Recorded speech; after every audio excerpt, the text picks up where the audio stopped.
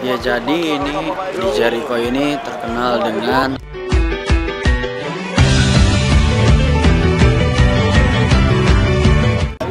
kurmanya yang ter, ter nomor satu di dunia. Kurma apa ini namanya? Bisa kita lihat ya. Oh ini.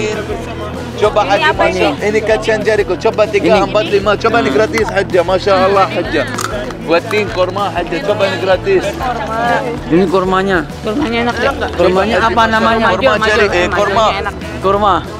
Korma Watin Haji Watin Wazaitun Haji Coba semua grup Bapak Ibu Masya Allah Haji Bapak Ibu semua grup Ya, enak ya. Masya Allah foto dulu. Cepetan galeri ini.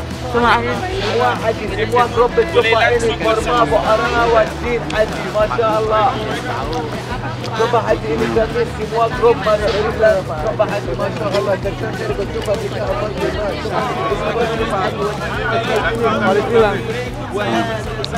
Nah, ini nih rokoknya. Satu, dua. Ayo, satu, dua, tiga. Gantiin satu, dua. Nah, ini tempat Nabi Isa berpuasa nih guys katanya. Mount of Temptation.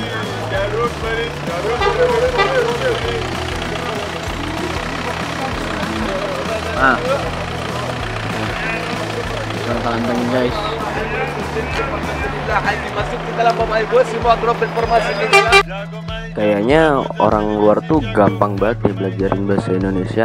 Habisnya kalau gua ke luar negeri ya, ya contohnya sini deh. Ini pada bisa bahasa Indonesia dong.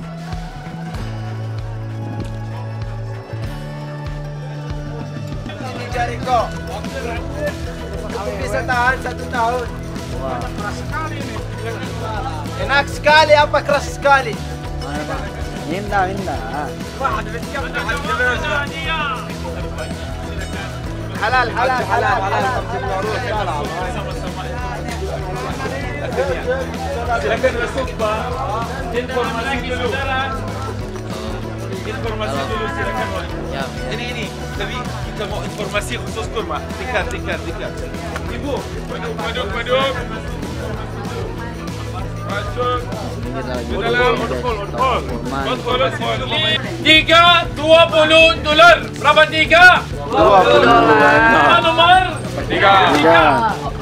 Sama ini kualitas Bapak Ibu kurma nomor dua. Enggak. Kurma nomor dua itu Bapak Ibu kurang manis. Ini Bapak Ibu lagi itu kurma besar di bawah kecil. Ini campur. Yep. Bapak Ibu Yep, siap, Bro.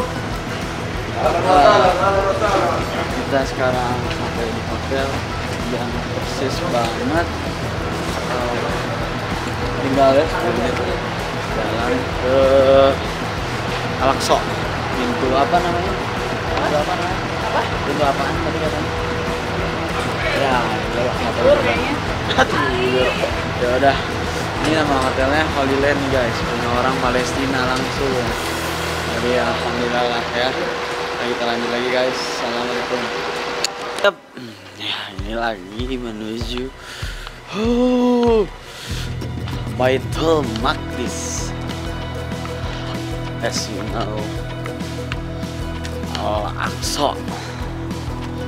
Dan ini posisinya jam 4 subuh karena eh, kita kerja salat tahajud saya pakai ini nih gue pakai ini nih anjir dingin banget parah nggak pakai jaket kedinginan man terus aduh ini dingin banget parah. Banget insyaallah. Berapa katanya sih 6 derajat Bet, ayo kita lihat. Subhanallah. Ah. Ah dia pintunya nih. Iya. Nah ini ada here we come ya jam 4 juga sepi sih di sini. Sama aja. Hotel kita alhamdulillah deket banget ya. Kalau bilang kayak apa ya?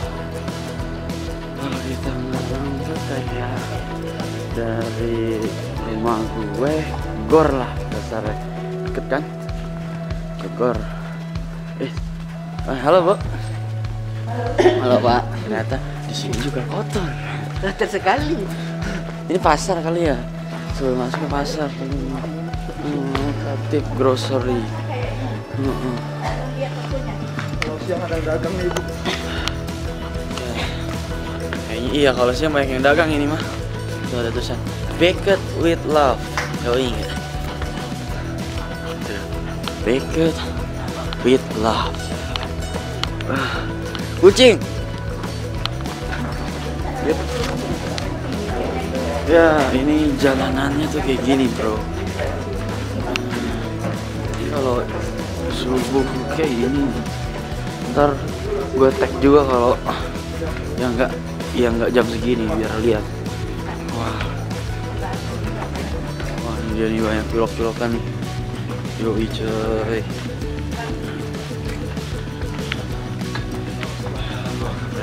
Keren keren keren ini jalannya nih gak licin. Motornya keren.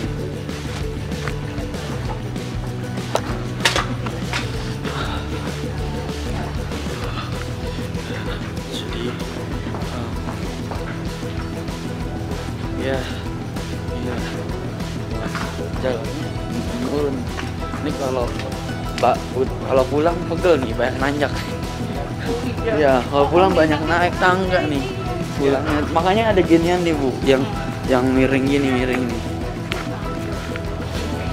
yang pulangnya nanjak aduh. Kasihan yang dengkul sih bu ibu-ibu biasanya ya. Ini.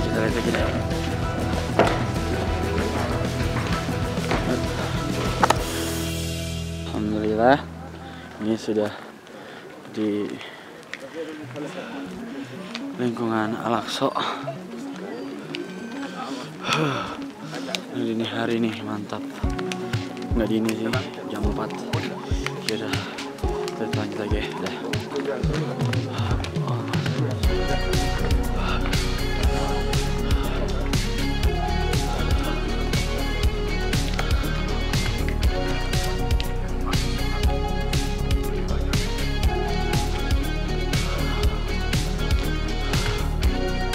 Place that we are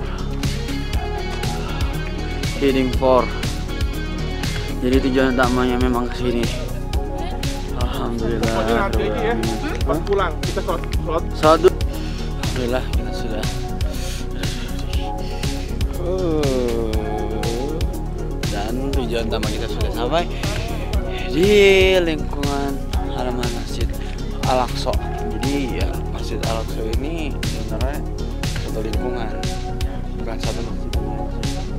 Cuman ini yang terkenal karena tempat Rasulullah SAW em, berangkat ke Sidratul Muntaha. Ya udah, ntar kita lanjut lagi ya.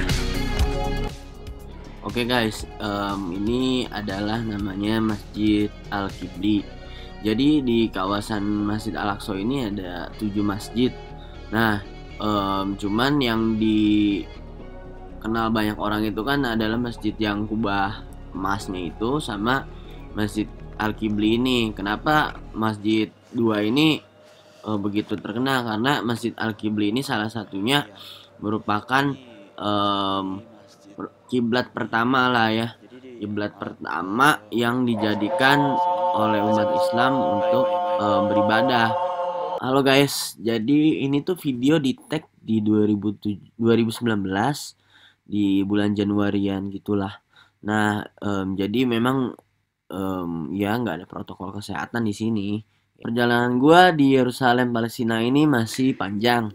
So em, untuk kalian yang pengen tahu kelanjutannya jangan lupa ya kalian like komen share dan subscribe. Dan jangan lupa dinyalakan lonceng yang ada di kolom subscribe saya. Karena eh, masih perjalanannya masih panjang. Ya mungkin ada tiga mungkin ya. Tiga atau empat video dari em, total yang ada di Yerusalem Eh, terima kasih yang sudah lihat. See you in my next video and goodbye